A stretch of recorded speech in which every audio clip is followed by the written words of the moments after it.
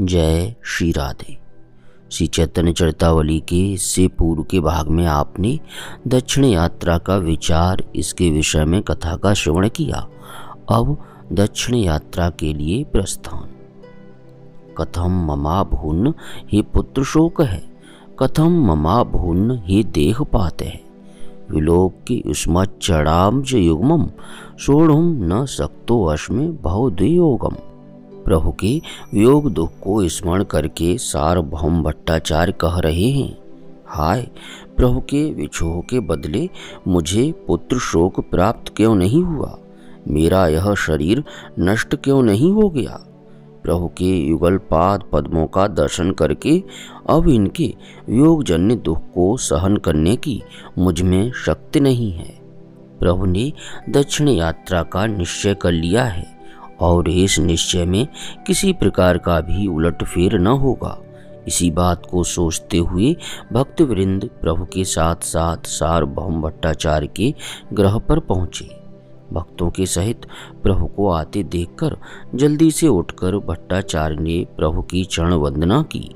सभी भक्तों को प्रेम अभिवादन किया और सभी के बैठने के लिए यथा योग्य आसन देकर धूप, दीप, नैवेद्य आदि पूजन की सामग्री से उन्होंने प्रभु की पूजा की। कुछ समय तक तो भगवत संबंधी कथा वार्ता होती रही। अंत में प्रभु ने कहा भट्टाचार्य महाशय, मेरे ये धर्म बंधु मुझे शांतिपुर से यहाँ तक ले आए और इन्हीं की कृपा से मुझे पुरुषोत्तम भगवान के दर्शन हुए। सुनते हैं, तीर्थों का फल कहीं कालांतर में मिलता है, किंतु मुझे तो जगन्नाथ जी के दर्शनों का फल दर्शन करते ही प्राप्त हो गया। आप जैसे महान भावों से प्रेम होना कोट तीर्थों के फल स्वरूप ही है। आपसे साक्षात्कार होना मैं भगवान पुरुषोत्तम के दर्शनों का ही महाफल समझता हूँ। आपके सत्संग से मुझे बड़ी प्रसन्नता हुई और मेरा इतना समय खूब आनंद पूर्वक व्यतीत हुआ। संभवतया आपको पता होगा कि मेरे एक ज्येष्ठ भ्राता विश्वरूप सोलह वर्ष की अवस्था में ही ग्रह त्याग कर सन्यासी हो गए थे।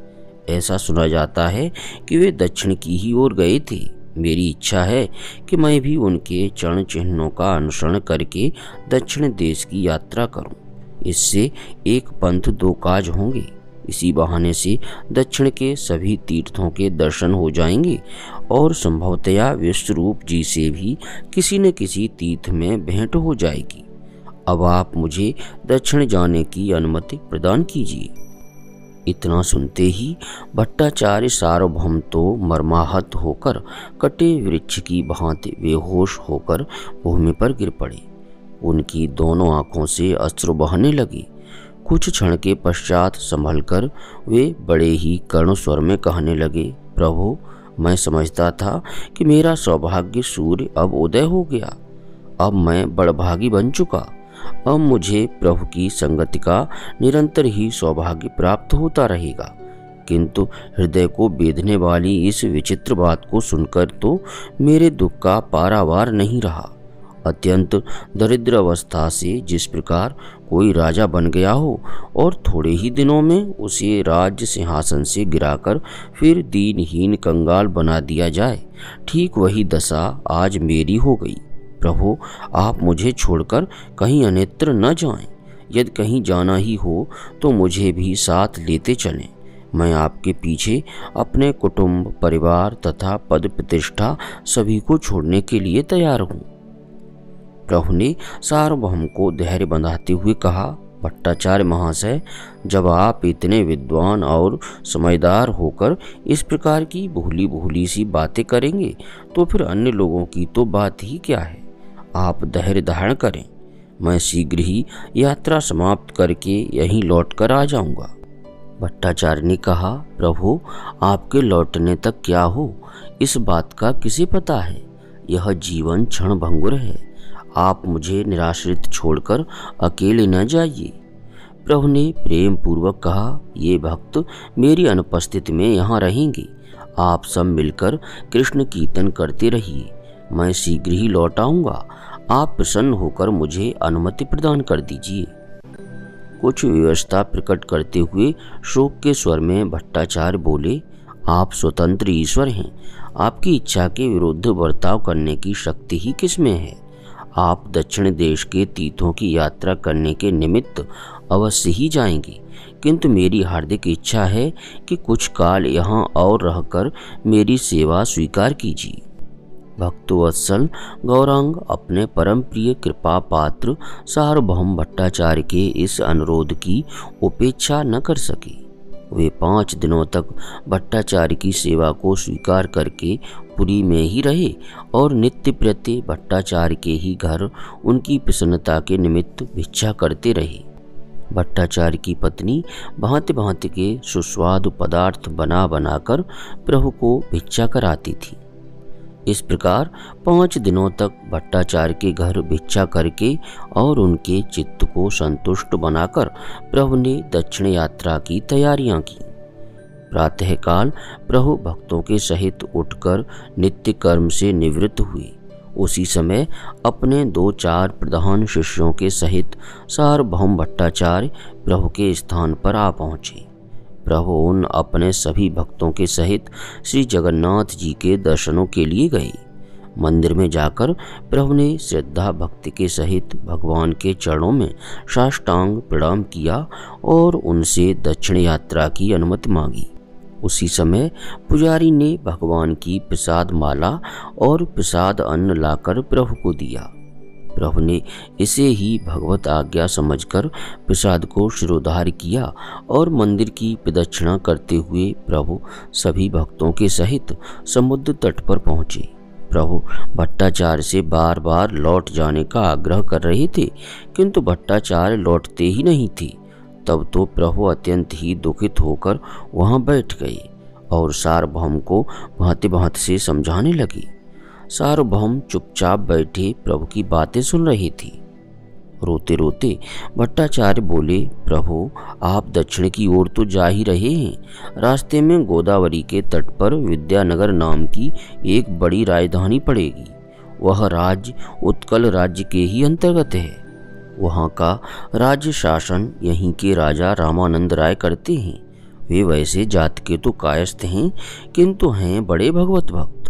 उनकी वैष्णवता श्लाघनीय ही नहीं, साधारण लोगों के लिए अनुकरणीय भी है। उन्हें आप अपने दर्शन देकर अवश्य कृतार्थ करते जाएँ। सांसारिक विषय पुरुष समझकर उनकी उपेक्षा न करें। प्रभु ने गदगद कंठ से स्नेह के स्वर में कहा, भट्टाचार्य महोदय, भला जिनके लिए आपके हृदय में इतना स्थान है, वे महाभाग चाहे चांडाल ही क्यों न हो। मेरे वंदनीय हैं। आपकी जिनके ऊपर इतनी कृपा है, वे अवश्य ही कोई परम भागवत, भगवत भक्त वैष्णव होंगी। मैं उनके दर्शन करके अपने को अवश्य ही कृतार्थ करूँगा। अब आप अपने घर को लौट जाएँ। लौटने का नाम सुनते ही फिर भट्टाचार्य विकल हो गए। उन्होंने रोते रोते प्रभु के पैर पकड़ लिए और अपने मस्तक को उनसे रगड़ते हुए कहने लगे पता नहीं अब कब इन अरुण चरणों के दर्शन होंगे। प्रभु ने दुखित मन से भट्टाचार्य का आलिंगन किया। प्रभु के कमल नयन भी सजल बने हुए थे। भट्टाचार्य प्रभु का प्रेम आलिंगन पाते ही मूर्छित हो गए। प्रभु उन्हें ऐसी ही अवस्था में छोड़कर जल्दी से आगे चले गए और भट्टाचार्य दुखित मन से सर्वस्व गंवाए हुए व्यापारी की भांति अपने घर लौट आए। इधर प्रभु जल्दी जल्दी समुद्र के किनारे किनारे आगे की ओर बढ़ रहे थे। वे भक्तों से बार बार लौटने का आग्रह कर रहे थे, किंतु भक्त लौटते ही नहीं थे। इसी प्रकार अब लौटेंगे अब लौटेंगे कहते हुए नित्यानंद प्रभृति भक्तों के सहित प्रभु अलालनाथ पहुँचे। अलालनाथ पहुँचने पर बहुत से लोग प्रभु के दर्शनों के लिए वहाँ आकर एकत्रित हो गए। इतने में ही गोपीनाथ आचार्य प्रभु के लिए चार कौपीन, एक काशाय रंग का बरहेवास अर्थात ओढ़ने का वस्त्र और भगवान का महाप्रसाद लेकर अलालनाथ में आ पहुँचे। नित्यानंद जी प्रभु को लोगों से दूर हटाकर समुद्र के किनारे ले गए और वहाँ से स्नान कराकर मंदिर में ले गए। मंदिर में आकर भक्तों ने प्रभु को प्रसाद अन्न का भोजन कराया। प्रभु ने बड़े ही स्नेह के साथ गोपीनाथ आचार्य के लाए हुए महाप्रसाद अन्न का भोजन किया। प्रभु के भोजन कर लेने के अनंतर सब भक्तों ने भी भोजन किया और वह रात्रि प्रभु ने वहीं कथा, कीर्तन और भगवत चिंतन करते हुए भक्तों के साथ बिताई। प्रातःकाल नित्य कर्म से निवृत्त होकर प्रभु ने आगे चलने का विचार किया। भक्तों से अब प्रभु ने आग्रह पूर्वक लौट जाने के लिए कहा। प्रभु के योग का स्मरण करके सभी का हृदय फटने लगा। सभी प्रेम में वेशुद्ध होकर रुदन करने लगे। प्रभु ने उन रोते हुए भक्तों को एक एक करके आलिंगन किया। सभी मूर्छित होकर प्रभु के पैरों में लौटने लगे। प्रभु उन सबको रोते ही छोड़कर आगे को चले गए। पीछे पीछे काला कृष्णदास प्रभु के कमंडल तथा वस्त्रों को लेकर चल रही थी।